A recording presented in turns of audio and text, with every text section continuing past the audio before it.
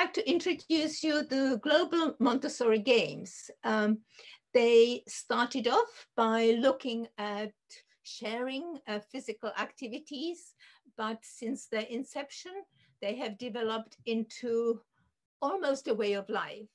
And they are offering sharing opportunities um, with um, the Montessori global community. And the presentation they will give us today will focus on children's good health and well-being, because particularly today, during the time of COVID, physical activity combined with awareness of oneself and supporting sense of well-being is very, very important. So I invite Roland, Aidan again, and ah, I practiced so much, now I lose the thread. Um, would you like to introduce yourself? Yes, I will. Thank you. Hello, my name is Jeroen, Jeroen Gremmen. And hello, everyone. We are honored to share our thoughts, plans, and ideas on Sustainability Day. And we are a global association of Montessori education and sport, or short called GAMES.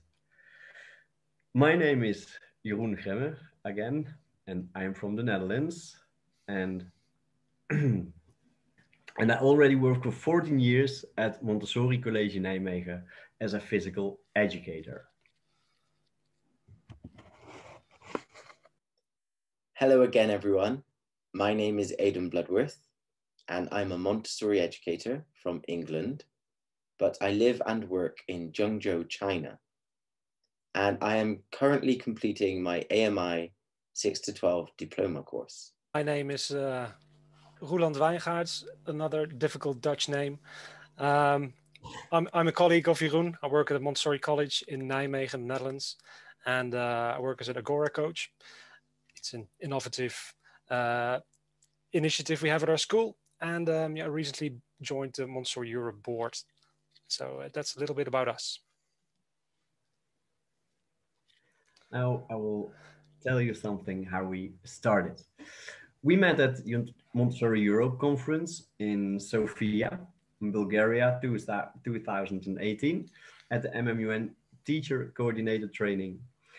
Judith Cunningham inspired us to organize our own sporting and cultural event for students around the world. At the conference, we met Aidan, who's living in China, with a shared vision and drive to make all this happen with us. Within a year, we organized our own event. And we called it the Global Montessori Games, which is an international event that brings Montessori schools from all over the world together and with the aim of creating peace and education uh, and connecting people through sports, education, and shared culture.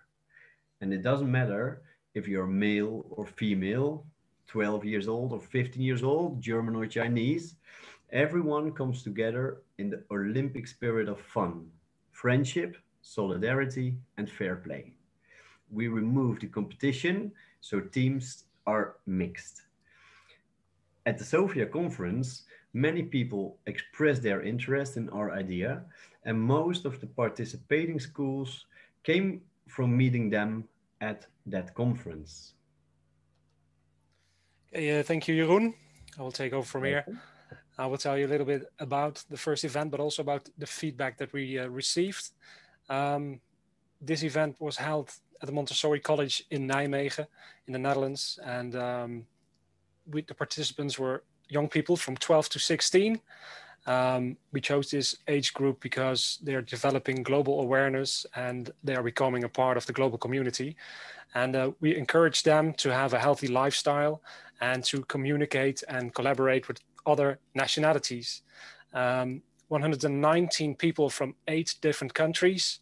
So that was, uh, let me think, Czech Republic, Germany, Norway, uh, also Drobak uh, School was there, um, Croatia, China, United Kingdom, USA, and uh, yeah, the Netherlands were there.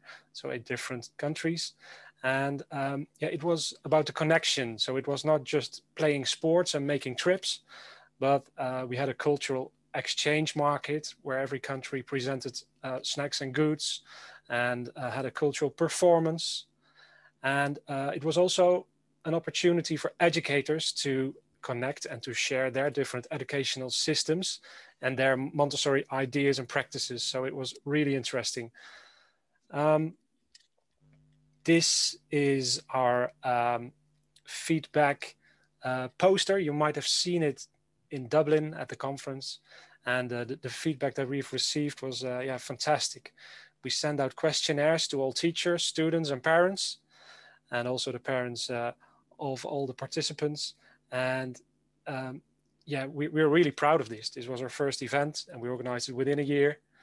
And um, yeah, for instance, 97% of the parents and teachers said that the GMG, the Global Montessori Games, has had a very positive impact on their children. Well, this was well amazing to hear, of course. Or this one that 93% of the participants said that attending the GMG helped to learn more about people from all over the world. So that's of course one of our main aims. So we're really proud of that. Another one, um, this is uh, actually one of our lowest percentages, but it's still very high, 87%. Um, I have to explain a bit about this because uh, the students, they stayed in host families together with someone from another country. So uh, to get acquainted with other cultures and customs and this was a huge part of our event. So the students they, they had to eat live sleep and they actually became kind of part of the family. And uh, some of these kids had never gone abroad. I've heard stories about kids that never went to another country and had to get a passport to go to this event. So uh, yeah to see that 87% enjoyed being in a host family it's amazing. Um, i will show you this as well uh, because here it says uh, somewhere on top, the joy and energy and meeting other teachers. So it was not just for students, but also for teachers and educators to share their ideas and to, well, learn more about others and have fun.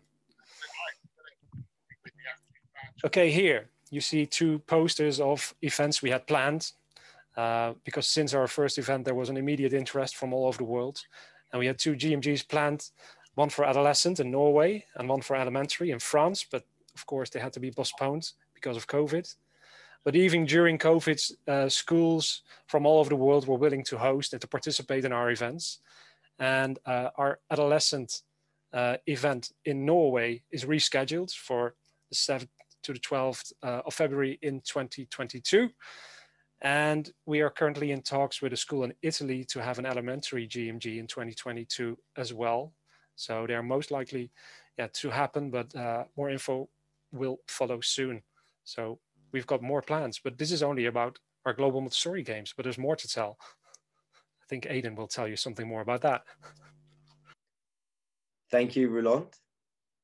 Yeah, um, COVID has been very challenging for us, just as it has everyone else in the world. Like we said, we've had to cancel all of our events but it's also provided us with an opportunity to reflect and to adapt. We've asked ourselves, how can we reach more people?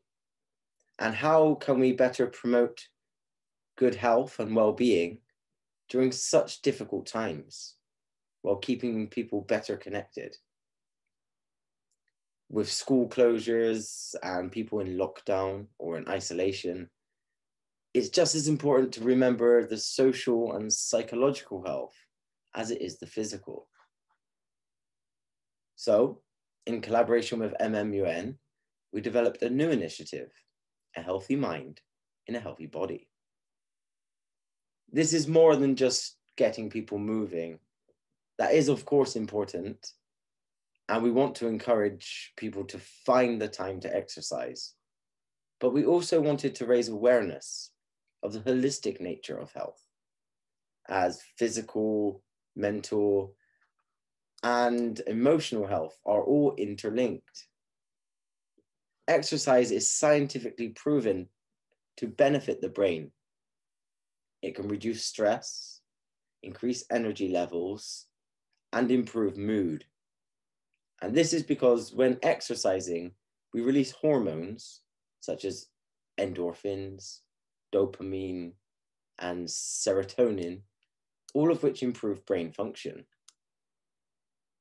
To achieve these aims, we created a platform on our website where we offer free access to a number of videos that are based on the five main motor skills speed, stamina, strength, coordination, and flexibility.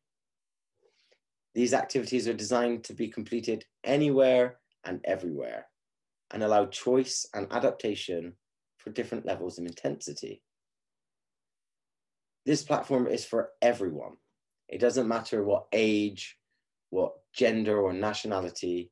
The most important thing is that people find the time to exercise and to challenge ourselves and each other to move.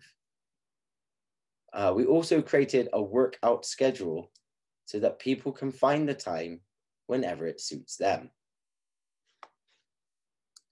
Uh, we invite everyone to download this, to create and even share their own schedule and workout videos so we can make this a more social and collaborative experience. Uh, we also have asked ourselves how we can further promote sustainability.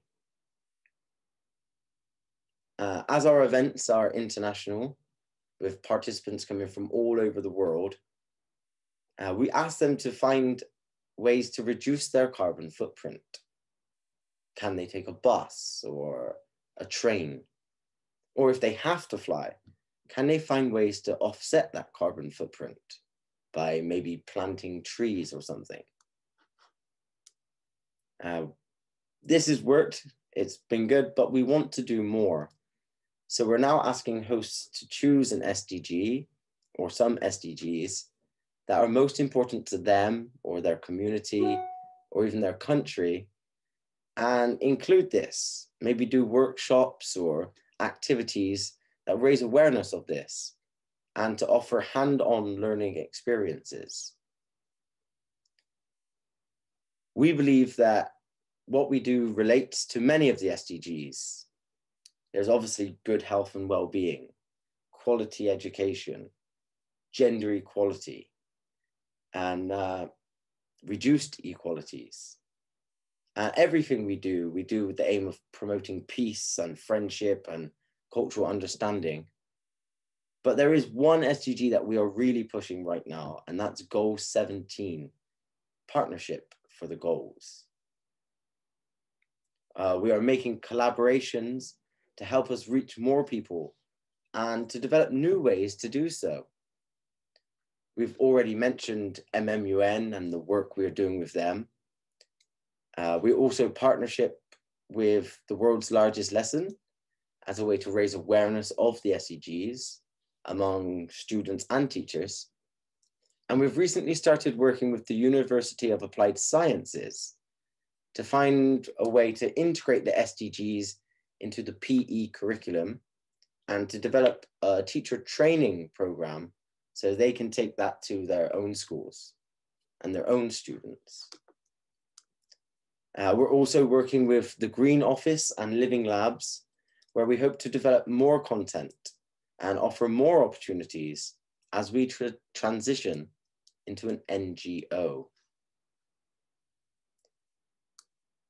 Everything we do uh, it's with the aim to promote peace and sustainability, and with the hope that we may contribute to helping young people create a better future. And that's why we're very excited to share our new initiative, something that's been developing now for a while, the Sustainable Development Games. This is something that if you would like to collaborate or be involved, we invite you to do so because we can all work together. It doesn't matter where in the world we are. We can connect with each other, just like we are now. And we can learn with and from one another and develop a global community. We believe in Dr. Montessori's vision that a more peaceful world can be achieved by giving young people the freedom to explore themselves in a growing global community. We at Games hope to use sport and shared experience and cultural understanding as tools to achieve this. So come and join us. If you're interested in collaboration or learning about what we do and how we do it, then contact us. Uh, you can access our website, montessorigames.org, or contact us on any of the social media outlets. We're on all of them, but please do reach out so together we can have a bigger impact. Thank you.